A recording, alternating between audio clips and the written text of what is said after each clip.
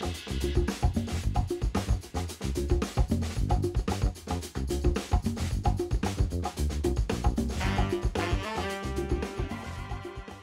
name is Susan Parkhurst, and I'm a professor in the Basic Sciences Division.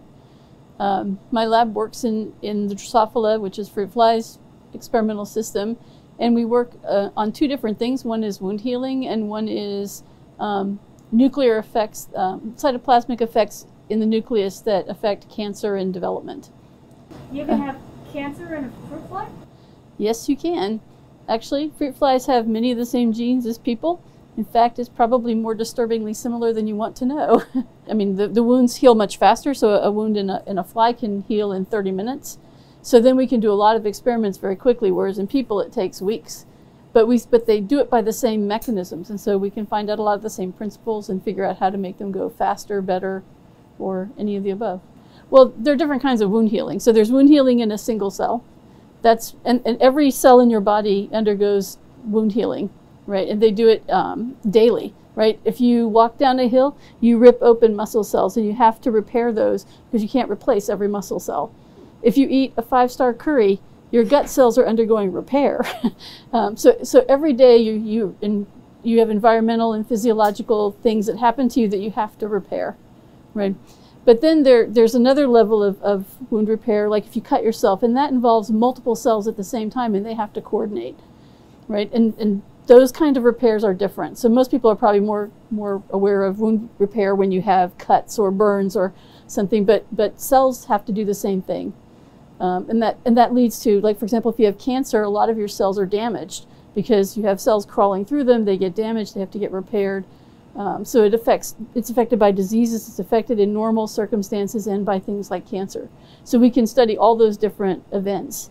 Um, but we, we chose to do the cell ones as opposed to say the, the more traditional wounding ones because people are working on those and the other one hasn't really been studied enough to understand how to do it but the idea is, is to be able to get to the point where you can um, affect things like diabetic people that have chronic wounds that never heal we might be able to understand the principles and find ways to help them make it heal faster cell by cell. So if we're going to look at a lot of different proteins we always want one thing we can compare it to so that we know that we're always looking at the same thing because we're looking at, at embryos and embryos just like people are different. Everyone's just a little bit different. So if you want to be able to get a, a, an underlying principle you need to know that you're looking at the same thing every time. So if we do actin plus something else then we can always compare actin to actin to actin from time to time and then now we know how this relates to each other right because we can only really image two things at a time that's the limit of the technology right now so if we want to compare three different things, we need to do, you know, actin to the first one, actin to the second one, and then we can compare the other ones by default. So actin is one of the major proteins in every cell, and it's the, the thing that gives you infrastructure. Right? It's building the scaffold that gives you cell shape. It allows cells to move. It allows them to interact with the ones next to them. So it's, it's sort of the, the infrastructure that, that gives you your cell the ability to do almost anything. And it has to be dynamic because sometimes you need your cells to be rigid and do everything the same all the time. Sometimes you need them to be motile and move around. Um, so it needs to be able to regulate itself very well and adapt to anything that happens. Right, so it's a major building block of, of cell structure. Um, I had really, really good teachers in science when I when I was growing up, and so by the time I reached high school, I knew I wanted to be in some type of science. I think at that point I thought I wanted to be a doctor because all the things I heard on TV or you know the science programs or the discovery programs or whatever it was I was doing seemed to lead more towards medicine. Um, but then by the time I got to college, I realized the part that I really liked the best was the research part of medicine. And it's very much like puzzle solving, you know, and, and it's a real challenge, and I like that. So I knew I mean, from the very beginning, that's more or less what I wanted to do, and it just got refined when I understood more, like what part of it I liked the best.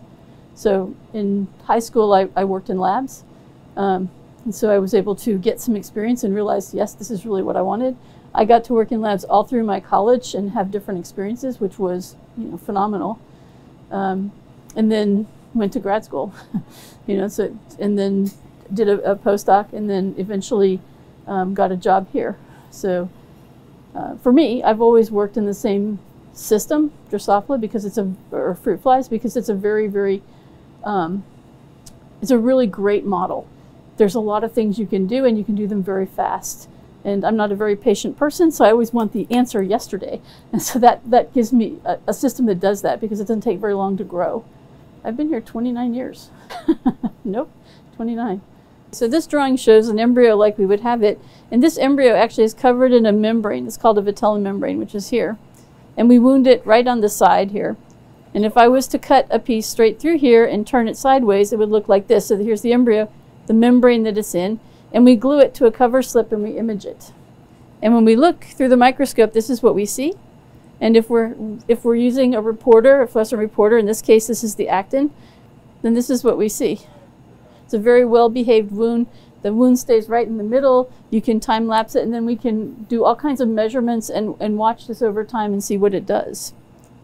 Um, sometimes though, your days don't go like that and your embryos do this, right? Because they're in this vitelline membrane and they can move around. Now they don't usually do that, but occasionally they do. And when they do, they go all over the place like this and it makes it really, really hard to measure it because it goes out of the plane of focus and um, so then you think, okay, that's that's a waste. But in this particular case, we happen to be imaging with two colors, so a red and a green. And what we found was the following if we looked in the, the other channel. So it told us uh, a lot about how this protein, this green protein, is working and how it attaches to the embryo on the outside. And this is part of the actually the plug of a wound. So it's the thing that plugs it when you first come when it first opens. Um, and we would never have seen that had the embryo not moved. So sometimes what looks like it's going to be a failure turns out to be something incredible because it tells you something you never knew. So there's a you know a lot to be said for just watching what you get and asking what it really told you. Okay, so here's here's if we're looking straight down on an embryo or what we call a cell, that's what we see. So it'll cycle through. Um, you see the actin ring form and it closes. And because it's time lapse, we can look at the movies, but if we want to compare one embryo to the next, it, it helps if we don't have to have two movies running simultaneously and like search between them. So what we do is we take this one and we make a strip right out of the middle and we put it here. And then we go one time point further, this case when we wound it, and we do it, and then the next one, and the next one, and the next one, and the next one, and we get a kymograph. And this lets us see how it closes. This takes 30 minutes, so we can watch that, and then if we have a mutant, we can see if it goes shorter, longer, or any of those things. We can measure a lot of parameters that way, but it lets us look at multiple ones at the same time and not have to have our, our brains looking at 10 movies simultaneously. Well, here's a wild type, and now look and you can see really clearly like how they're different, right? And, and we can look at the movies too and go back and, you know, toggle between different time points or whatever we need to do or zoom in or so we still have that ability, but this makes it much easier to compare one to another. So this is carbon dioxide. And it turns out that flies will fall asleep if you put them in carbon dioxide. But it's not going to hurt a person. And so we can make them fall asleep on here and then we can look at them in the microscope. And probably, I don't know how close you can get, but you can probably do it through here. What a male and a female looks like. So their pigmentation is different. And if you turn them the other way, they look like this from the other direction. So we can, we can really easily tell the difference. So that way, if you're doing genetics and you need males and females of a particular type, you can tell which ones are which and then put them together in one of those little vials and let them go to town. So these, these are basically visible tags. So we, we have these on the same chromosome as a, as a protein we're interested in, or say a mutant protein that we're interested in. And while we can't see the mutant protein, we can see these tags. So not, it's similar to when we're doing the imaging and we have fluorescent proteins tagging the, the, the, proteins we want so we can see them as a fluorescent color imaging. This lets us in the fly see a visible marker that tells us our gene is there. So when we're doing genetics, we can tell if we're putting two different genes together, the two markers should come together, right? So we can follow it. It's basically a visible tag. Well, the one thing that I would say to anybody who asks me what, you know, how to start or what to do, and I would say, you know, believe in yourself and don't give up. And I mean, people are going to help you, but no one is going to help you as much as you help yourself. So don't be afraid to ask. Don't be afraid to push. You know, if you want to do something, push for it. Um, but but be flexible because sometimes you get what you want, but it's not in the way you think. So you have to be flexible in that way, but but don't give up. Just keep pushing for what you want because it's science is a not an easy profession in the sense that you have to keep pushing. A lot of times you do experiments that don't work, and you can't give up just because they don't work. You just have to think, okay, if that didn't work, why didn't it? What else can I try? Um, what would be another way? Or even if something trivial happens, like a, equipment breaks, and you think, okay, I can't do that. How else could I do it? if, I, if that's not going to be fixed for three months, how else could I do it in the next three months? And sometimes you come up with better things. Um, so just just always push. I'm Tessa, and I'm a research technician in the Parkhurst Lab. And mostly I do imaging and um, a little bit of biochemistry, depending on the day. But mostly I come in and I image different um, fluorescent proteins and um, process my images and then that's it. I actually had no background in microscopy um, or cell biology, but um, I am a neuroscientist by training, and I needed I needed more of a um, biochemistry and cell biology background to do what I wanted to do. Um, and so that's how I joined the lab, and I've learned a lot. but there's definitely a learning curve, but it's been worth it. so I majored in neuroscience and actually this summer I will start a PhD in neuroscience. I always like science the best out of all my classes. Um, in high school especially, I took AP Biology, which was one of the only APs that my school offered. I loved it. And in college, I took an intro to neuroscience class because I've always been interested in the brain and how it works. I just fell in love and I had so many questions that I just really wanted to answer. Um, and the reason that I chose research is because most of the questions that I had were not answerable. Um, there just wasn't enough research yet. And so I wanted to pursue answering some of the questions that I had. I played soccer in college. Um, but yeah, mostly in Washington, I've been exploring the mountains. Um, recently I've gone into going to the Olympics, which are so beautiful and they're awesome. I like the Olympics a lot. So this is our fly room. Um, and so we have empty fly food. Um, this is what we flip flies onto. This is yeast, which is what they eat. Um, and then all of these that you see are stocks. So um, these are lab stocks, which everybody uses. Um, yeah, we have a lab aide that comes in and flips all of these stocks, which is very nice. My stocks are this whole area here. um, and so I have them labeled as different um, families of proteins that I'm looking at. Um, these are balancers, so um, just stocks to use um, to cross into different stocks. So these aren't even part of an experiment yet. These are just tools, basically. Right. So this is what we use for our experiments. So um, in order to look at um, different proteins, like for example, we take expression. So, well, okay, so this is a membrane marker. Um, so in order to look at this, I take these flies and I cross them to these flies. and then um, I look at their progeny, so the next generation. Um, and those are the embryos that I image, which we'll see in a bit. and then you do that because you're looking at a specific protein you're interested in. Yes, so these are all GFP or RFP tagged. So green, green fluorescent protein or red fluorescent protein. So how often do you have to like redo the, the tubes? Once a week. so it's actually today. Yep. so today is my stock day, so I'll spend about eight hours doing this. One of the best experiences um, I had in college was um, studying abroad, learning a different culture, learning a different language. So I studied for one semester and then I didn't want to leave, so I extended my visa and stayed for a year. And it was a fantastic experience. I learned a new language. I have families in Ecuador that I consider part of my family. Um, and yeah, learned about a whole different culture.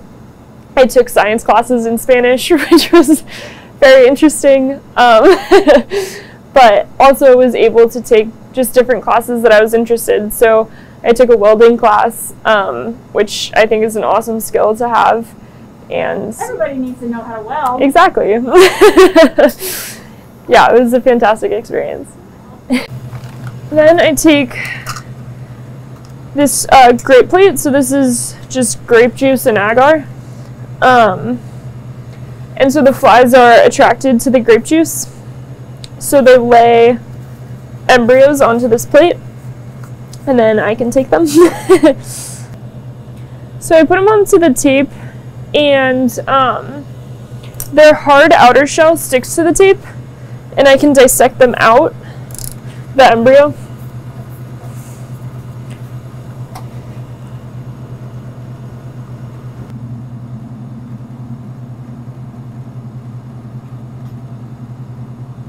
So those are what embryos look like.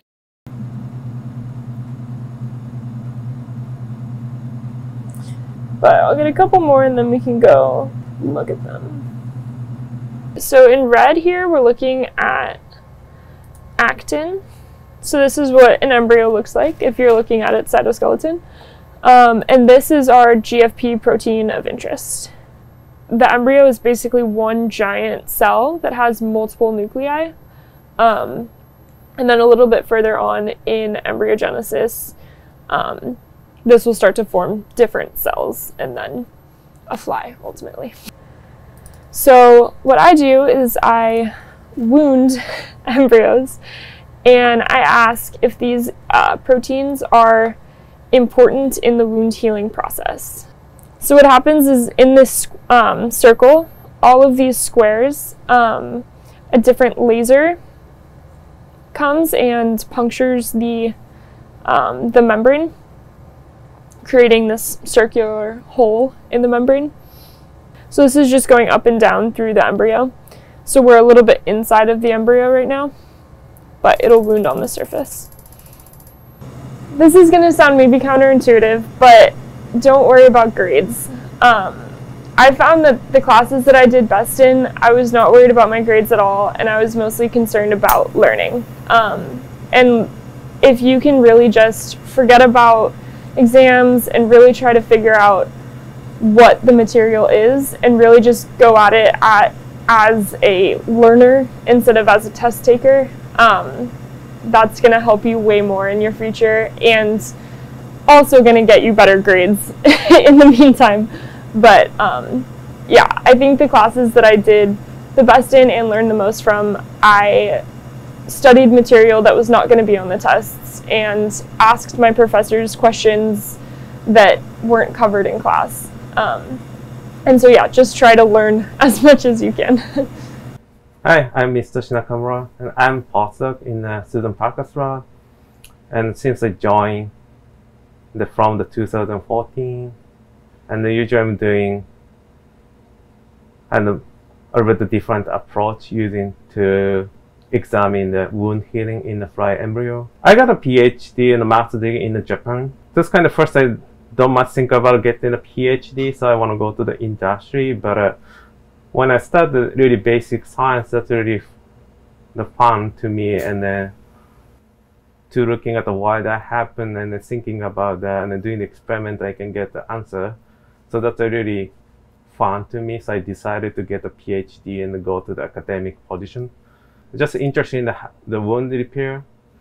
So, and I just search the wound repair using fly and only the hit in several lab and then none of them in Japan. So, and then when I came here and then when I talked to Susan and then really, she's doing a really kind of fantastic the work doing the single cell wound repair. I kind of sort of the, doing the science during the high school student. I it's kind of interested in the biology, but when I was a high school student, I was more interested in the more medical research and how the drug can heal or cure the disease and anything. But and I just decided to go to university doing that kind of the research. So and then when I started, that's really more fun to me, looking at the more mechanism, why that happened, how the the animals establish their organ formation. When I think those research really fun, I just decided I should stay in academia, and uh, I want to do more basic science. This is just a really control the wild type embryo.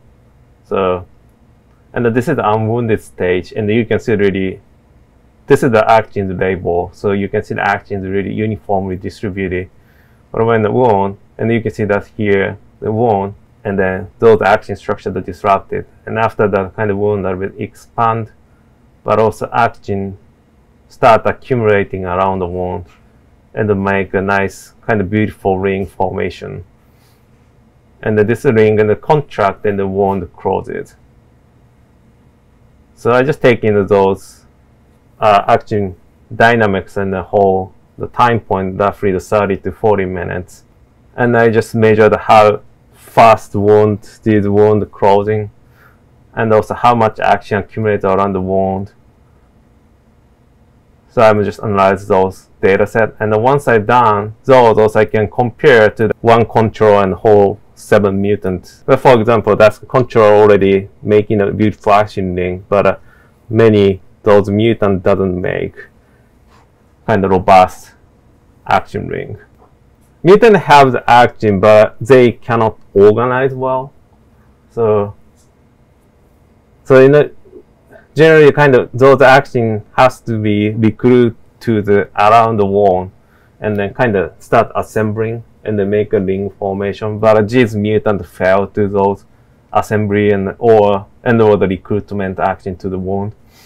So that's why they cannot form the really robust ring. Some of the mutants still can try to form the ring, but it's not the robust that compared to the the wild type embryo. My name is Justin. I'm a research tech here in the Parkhurst lab, and I primarily do wound healing. So a lot of my cross could be some biochemistry, just to go along with how we look at uh, interactions with proteins during the wound healing process. I'm almost hitting about a year, so my one year anniversary is coming up. I came from Baltimore. Yeah, so I spent two years there, and then I'm actually from Canada. Where Yeah. are you from in Canada? Toronto. Yeah, so it's fine. It's a little different over here in the United States, Just a little. just a little. so I did my undergrad actually at UBC in Vancouver in mechanical engineering. so it's a little different than here. yeah. So I, I decided to kind of dive into biology and the sciences because I felt like with what I know about engineering, I wanted to be playing a part in kind of the biomedical side of things and how engineering could be um, useful in biology. So I wanted to make that switch and kind of learn more about biology, how all, all the questions that are still yet to be answered, and what I, as kind of a trained engineer, can think about and what I can contribute to the field. I definitely want to do my PhD, so definitely going back into bioengineering or biomedical sciences, something like that. I really enjoy the field of biology. I think there's a lot to learn, and everything every day seems to be like there's something new to read or learn or really discover ourselves. So as as an engineer, it's it's very cool how things work, how biology is able to have all these very intricate mechanisms and networks that really fit together. Yeah, so my going into my PhD, I, that's kind of one of the things I want to look into, kind of cancer biology, how cancers are able to hijack normal functioning cells um, to become, you know, a really fatal disease.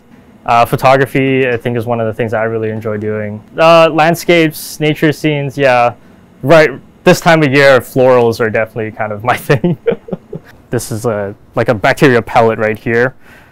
Um, so what we want to do is kind of put that into a solution, so it'll be easier for us to kind of kill it and bring out all the DNA from that. Why would a fly lab be interested in bacteria? So we do it for a lot of the biochemistry. So, um, or we can actually make transgenics. So we would design a DNA construct and uh, grow it up in bacteria, test it to make sure it has our gene or DNA that we want, and then we can then put that back into flies. So the fly can uh, be fluorescent green or fluorescent red for uh, whatever protein that we want to tag it with. So we get to look at what that protein is doing in the fly in real time. Right, so the uh, bacteria is in a solution, so that's good.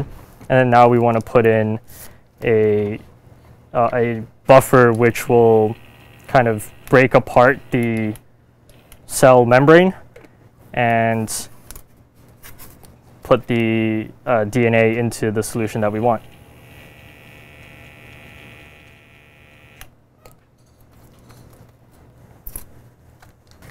So for this one that we've already let sit for five minutes, uh, we have to add in a different buffer. So this one will just uh, kind of collect the DNA together so that we can filter it using one of those. It's a little slimy.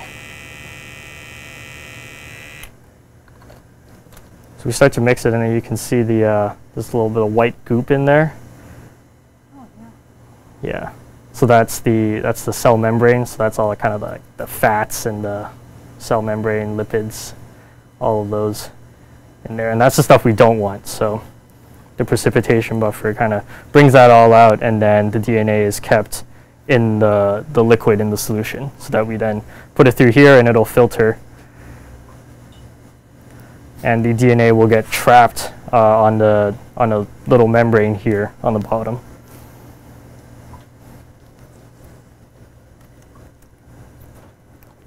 Let's give it a little bit more.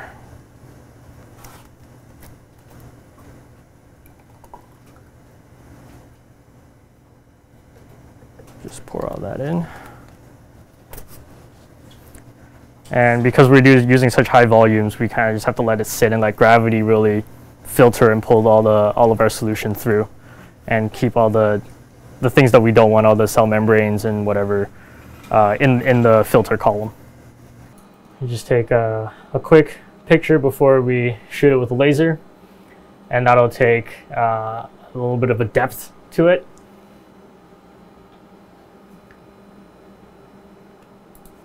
And then we put a we put a target, and then we hit it with a laser and hope we don't kind of poke too big of a hole.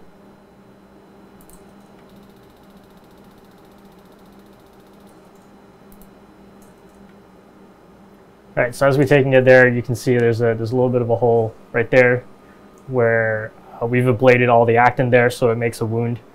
And then we watch kind of how the dynamics, we watch it um, close, how does the green fluorescence look as we as, as it closes, um, and what we're looking here is actually a mutant. So we've actually turned off one of the genes so it doesn't produce that protein anymore. Uh, and, and that's what we're kind of looking for is what does the wound site and the closure dynamics, how does it look, how does the actin look as it's, uh, as it's closing with this one gene that's missing. And this runs, we, we like to do a time course of things. Here we want, uh, we do every 15 seconds here just because we want to see how it looks and we also use uh, a little bit less of a depth. So we're, uh, we're able to do a lot faster. I'm gonna let this run. This one, I'm gonna let it go for about 15 minutes. So we get to see how the wound goes from fully just wounded to closure if it closes, because sometimes these mutants, they the wound doesn't close, so it stays wounded for a really long time. It doesn't go all the way to the center. It's actually kind of just the surface. Uh, usually, uh, just a couple microns past the surface is where it is. So the rays is kind of a kind of a cortical flow to it. Like you have um, the embryos trying to bring actin towards the center uh, of the wound, or to to bring or not just actin, but a lot of other proteins. So that's what we think we're seeing here is with the rays It's just the embryo is trying to bring all the proteins that it needs at the wound to fully heal. So it's actually molecules headed towards the wound, not spreading out from it. Yeah, yeah, it's, it's yeah, it's going inward. Yeah, yeah, and there's actually uh, different analyses that we can do where we kind of track different points of the embryo as it's closing. The closure varies uh, a lot depending on what you knock down. Some of them never close. You actually see this really big hole throughout, and then some of them you might actually see close faster. Um, but then you have some other kind of defects like uh, actin will just accumulate at the wound and ne- never go away, or yeah, you have pretty much anything you can think of will happen in the embryo, depending on what gene you knock down. I'd say really don't be afraid to explore. I think you don't, you know, science is very broad. There's a lot of things that you can touch on uh, and just try new things, especially coming from high school. I think there's there's a lot of lot to learn, a lot to explore. So don't be afraid to just kind of dive in. Hi guys, uh, my name is Carrie Davidson.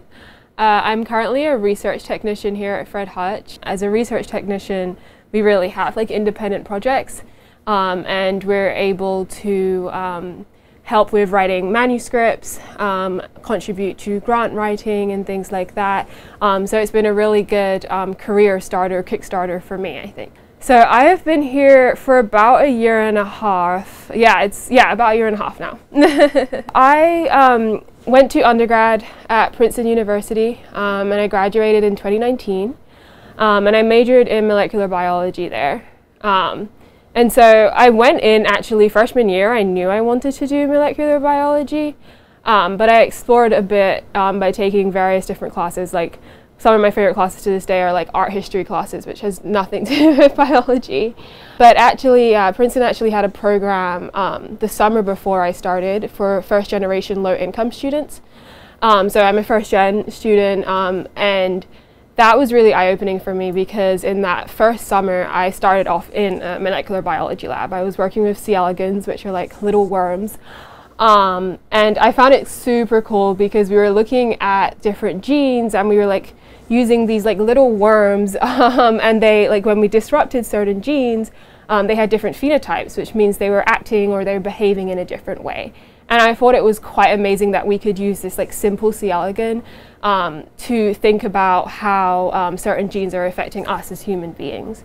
Um, and so that was kind of where my interest in molecular biology really began. And um, going through college, I ended up majoring in molecular biology, but I graduated and felt like I didn't quite know what direction I wanted to go. I was interested in medicine, so I was pre med while in college but I kind of wanted to figure out what the next few years, five to 10 years of my life would look like. Um, and so before deciding that I wanted to go to grad school or medical school, I decided to start as a research technician. Um, and a research technician, I think, just really gave me the opportunity to really delve into science for a brief amount of time, right? But I'm, I'm full time um, and really figure out is this what I see myself doing um, for the rest of my life, really? Um, and it is. I really love what I do. I love um, being in the lab. Um, and I think my job is very much like a puzzle every day, right? It's like putting together different pieces of puzzles, puzzle, and sometimes you do something and realize it doesn't quite fit. you might have to shape it a bit more, or you might have to go back and try again. But then eventually I find a place for it to fit, and I, I, I love that aspect of, of my work. I grew up as an only child um, to my two parents who immigrated to the UK. So I'm actually from the UK. I'm from South London. My parents were very, very hardworking. Uh, they had to be having immigrated to the UK, so they immigrated from the Caribbean islands. They always um, got me involved in whether it was sport. I became a track track and field athlete, and so they always encouraged me to get involved in things. And on the academic side too, my mum was always my go-to for math problems. My dad was for like my English homework, because um, that was that kind of their specialties in in high school. Um, and so, you know, being a first gen student, I think it's been a great experience and a great journey because while I wasn't exposed to a lot of things like science, right, when I was younger, um, it, it made me a bit more inquisitive and a bit more curious when it came to the classroom, right? And when it came to speaking to teachers or professors in college, I was always uh, always interested in what they had to say because I kind of never experienced it growing up or I, you know I didn't have anyone in my family that was a scientist or, or in the medical field or anything. Went to high school in the UK and then uh, went to went to Princeton more so because of track. I ended up being recruited and so I kind of wanted to keep traveling a bit more. I hadn't been to the West Coast um, before and I said, hey, I'm, I'm doing this kind of two year period where I'm trying to figure out what I want to do in the future. Um, why not go somewhere you haven't been before? and so I came over to the West Coast.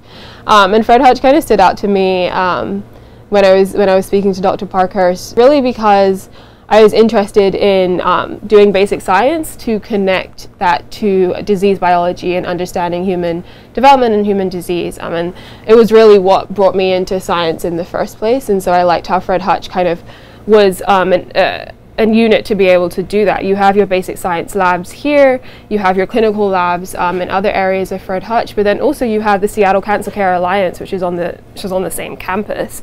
Um, and you know, pre-COVID, I was I was um, fortunate enough to be able to volunteer for a bit at Seattle Cancer Care Alliance. So I really liked that at Fred Hutch, you could connect.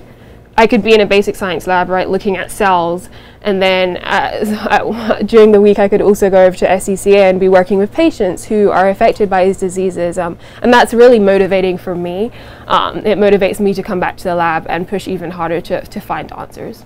I love being able to see the microscopic and the macroscopic, and that's that's why I have an interest in, in medicine and connecting basic science um, to medicine as well because basic science for me is the microscopic okay this is what's happening here in the cells but then how does that affect the human body overall? And so for me the motivator is is going out there and seeing that there are people that are, are suffering that have diseases um, there there is inequity um, in the world there is injustices going on in the world and there's a small part that I can do in this one area. And so that's what kind of brings me back into the loop of things when things don't go super well.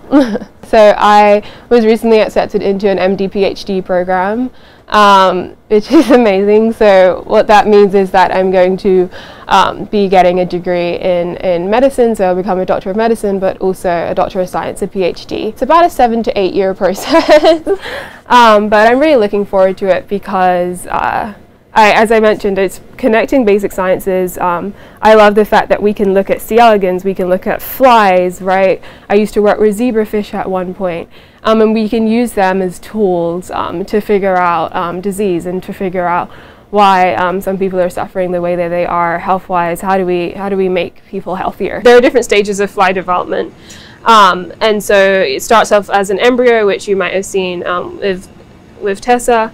Um, and then it gets a bit older and it becomes larvae. And so these are these like little worm-like structures. Um, they kind of remind me of um, C. elegans a bit. Um, and so I dissect the glands out of these. So the glands are kind of in their in their right stage when the flies are specifically third instar larvae, and that's when we like to look at them. And so then what I do is I just take out one of those larvae that I showed you earlier.